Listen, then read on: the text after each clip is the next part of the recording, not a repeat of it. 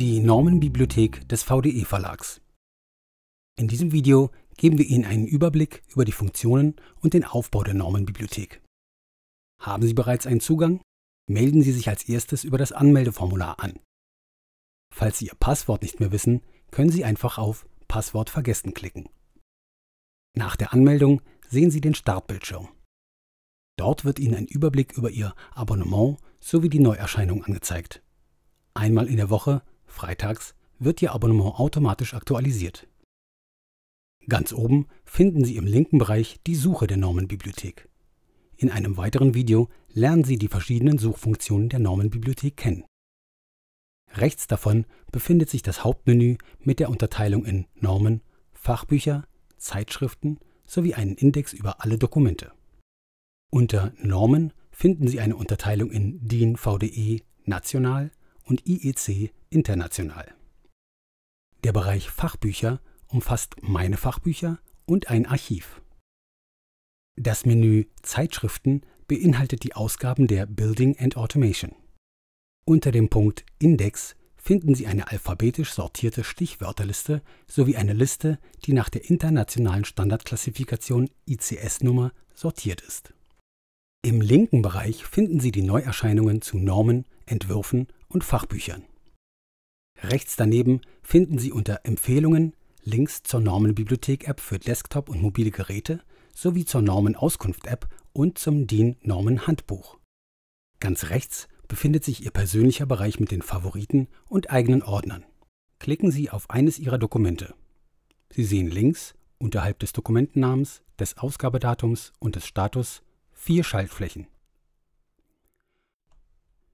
Die Schaltfläche zu Favoriten hinzufügen gibt Ihnen die Möglichkeit, Dokumente Ihrer Favoritenliste oder Ihren Ordnern zuzuordnen. Im folgenden Dialogfenster können Sie den Namen des Dokumentes ändern und den Ordner auswählen, in den Ihr Favorit gespeichert werden soll. Ein Klick auf die Schaltfläche Notiz anlegen schaltet den Notizmodus ein. Im geöffneten Dokument finden Sie dann, hervorgehoben durch einen hellgrünen Balken, die Möglichkeit, Notizen unter jedem Abschnitt hinzuzufügen. Durch einen Klick auf den hellgrünen Balken öffnet sich ein Textfeld, in das Sie den Text der Notiz eingeben können. Klicken Sie anschließend auf Speichern. Um eine Notiz zu entfernen, klicken Sie auf Löschen. Ein erneuter Klick auf Notiz anlegen beendet den Notizmodus und die leeren Notizfelder werden in der Dokumentenansicht ausgeblendet. Die bereits erstellten Notizen bleiben weiterhin in der Dokumentenansicht vorhanden. Wählen Sie die Schaltfläche Frage an Experten, um im anschließenden Dialogfenster direkt Ihre Frage zu der geöffneten Norm zu stellen. Mit PDF öffnen wird das Dokument je nach Einstellung im Browser geöffnet und kann dort direkt angesehen, gedruckt oder heruntergeladen werden. Der Detailbereich umfasst die Unterpunkte Dokument, Information, FAQ bzw. Änderungen, Vorgänger und gegebenenfalls Empfehlungen. Rechts davon sehen Sie das i, welches die Legende zu den grafischen Hinweisen enthält. Das Inhaltsverzeichnis finden Sie im Bereich links neben dem Dokumentenbereich. Im Bereich Dokument können Sie beliebig durch das Dokument scrollen und die sehr aufwendig angelegten internen und externen Verlinkungen verwenden, um schnell an bestimmte Stellen zu gelangen. Das Dokument wird dabei nach und nach geladen, wenn Sie zum unteren Anzeigebereich kommen. Rechts sehen Sie einen blauen Balken, der Ihnen die aktuelle Position im Dokument anzeigt. Befinden sich im Dokument Bilder oder Tabellen, können Sie sich diese durch einen Klick darauf in einer vergrößerten Ansicht anzeigen lassen.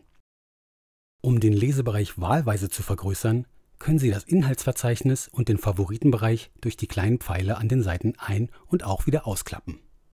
Unter Information finden Sie weitere Angaben zum Dokument, wie beispielsweise den Titel des Dokuments in anderen Sprachen, Ersatz- und Änderungsvermerke, das zuständige Normungskomitee, die internationale Standardklassifikation ICS, den Referenten sowie die VDE-Vertriebsnummer.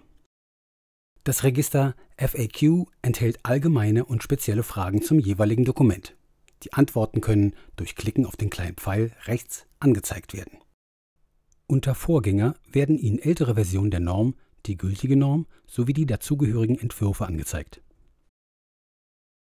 Das Register Empfehlungen zeigt Ihnen weitere Inhalte, die für Sie interessant sein könnten.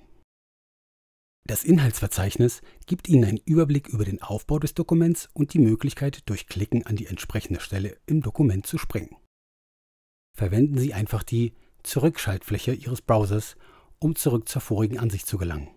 Im Register Favoriten finden Sie Ihre zuvor angelegten Favoriten und Notizen. Sie können ganze Dokumente hinterlegen und Ihre Inhalte nach Ihren Bedürfnissen strukturieren. Klicken Sie auf Neuen Ordner anlegen und geben Sie im anschließend geöffneten Dialog einen Ordnernamen an. Mit einem Klick auf die drei Punkte können Sie den Namen des Ordners oder des Dokumentes umbenennen. Ziehen Sie dann per Drag and Drop die entsprechenden Dokumente auf den Ordner und verwalten Sie so Ihre Favoriten.